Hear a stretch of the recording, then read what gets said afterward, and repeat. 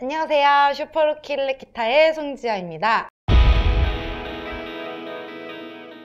A, D, G, B, E. E, A, D, G, B, E. 미라레, 솔시미. 네. E, A, D, G, B, E. 미라레, 솔시미. 이건 무조건 외우십시오. red sun. 이 chromatic만 하자니 어, 너무 지겨워요. 라고 하시는 생각하시는 분들이 예, 있어요. 저도 굉장히 지겹고 이거는 뭐 피를 말리는 그런 뭐 고행의 길이라고 예, 해도 뭐 할 수가 있겠는데요. 예, 저도 정말 짜증났거든요. 무슨 뭐 blah blah 코드 코, 아 코트래. 네, 코드 잘 그렸죠? 네. 자 여기 이렇게 바디가 이렇게 있고요. 그냥 그림 그냥 봐주세요.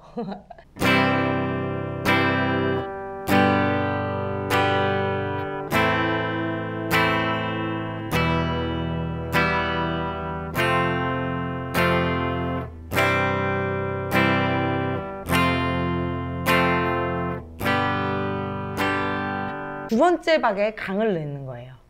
그리고 그럼 눈치 눈치를 채셨다시피 예, 죄송합니다. 눈치를 채셨다시피 오른손 뮤트는 자 오른손 손바닥을 이용해서 새끼 쪽에 있는 이런 울트라맨 이거 퓨빔 쏘는 이쪽 있죠? 네, 그걸로 음, 줄 전체를 감싸서 소를 없앤 다음에 그 뮤트 다음에는 바로 어피킹이 나온다. 앞에 그럼 잠깐 어떤 노래인지 잠깐 들려줘 볼까요? 네. 음, 음. 잠시만요. 우리 서로 반말하는 사이가 되기를 아직 조금 서투르고 어색한데도 자 이렇게 되는 거예요. 증기 작가 증기 작가 다운업.